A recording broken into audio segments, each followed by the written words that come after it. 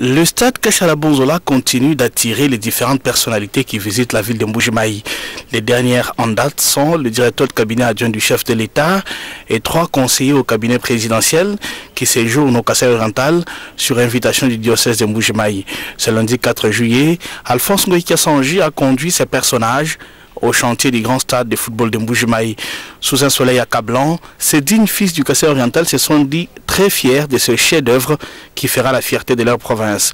Jean-Pierre Kambila, numéro 2 au cabinet présidentiel, était très ému au moment de commenter ce qu'il venait de voir. je suis absolument émerveillé, mais pas du tout étonné. Je suis émerveillé parce que ce que je vois là est extraordinaire. C'est le fruit d'un travail, c'est le fruit d'une intelligence et d'une volonté de bien faire des choses. Il faudrait que ce qui se fait aujourd'hui en Boujumaï se duplique sur l'ensemble du territoire national pour montrer qu'au centre de l'Afrique, il y a un peuple courageux et intelligent. Le Kassa oriental a beaucoup d'enfants dans le monde entier, répartis dans tout le Congo et partout ailleurs, sur les cinq continents.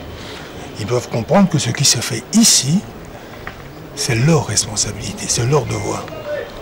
C'est ça la trace que la génération des Kassaïens actuels va laisser. C'est ça que la génération laissera. Donc il faut venir, il faut participer à cette œuvre. Où que vous soyez, si vous voyez ces images, sachez que je lance là un, un véritable appel. Il faut que ce stade se termine, se termine bien.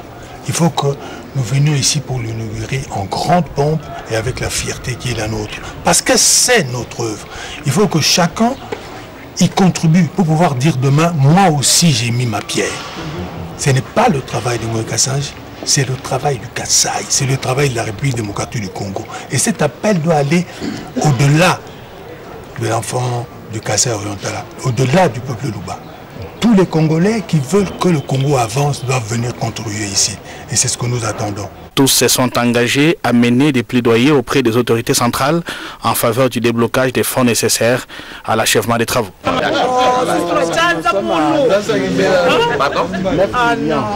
Non, les...